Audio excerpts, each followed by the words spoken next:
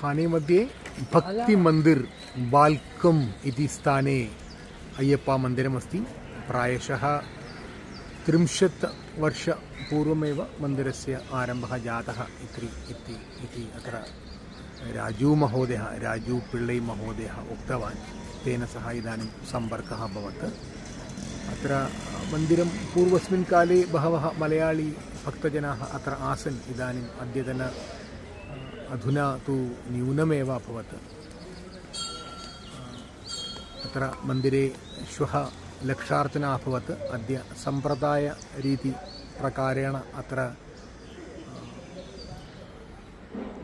शास्ताप्रीतिपूजा रुद्राभिषेकम् अपि भवति इति उक्तवान्। अत्र मन्दिरे अय्यप्पस्वामी एव मुख्यप्रतिष्ठा, पार्श्वे हनुमन्तः अस्ति।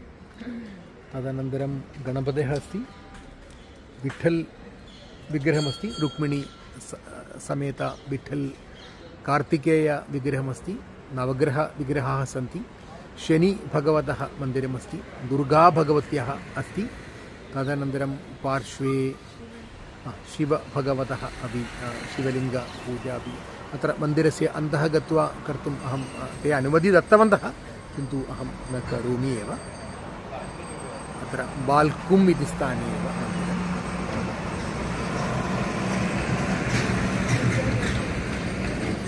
मन्दिरस्य अत्र अलङ्कारं कृतवन्तः शास्त्राप्रीति पूजाकारणेन किन्तु अहं मन्दिरस्य अन्तः गत्वा न करिष्यामि एव चलनचित्रस्वीकरणं न करिष्यामि अय्यप्पपूजायाः कृते शास्ताप्रीति लक्षार्चनपूजायाः कृते अत्र मन्दिरस्य बहिः ते अलङ्कारं कृतवन्तः अत्र सजीवः, सचिवः इत्युक्ते राजू महोदयः उक्तवान्, अत्र मलयाळी भक्तजनाः न्यूनमेव। अतः अन्य राज्यतः भक्तजनाः इतः अत्र आगच्छन्ति।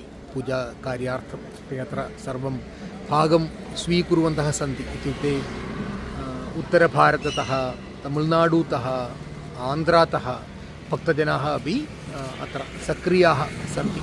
कार्यक्रमस्य पूजार्थं सर्वं अ, नो चेत् मलयाळीजनाः न्यूनमेव अतः एतत् सर्वं तदनन्तरं अ, स्थगनं भवति इति चिन्तयित्वा एव सर्वेषां सहकरणकारणेन एव अत्र अ, मन्दिरम् इदानीं अ, सम्यक् रीत्या अ, कार्यं सर्वं भवति इति राजू महोदयः उक्तवान्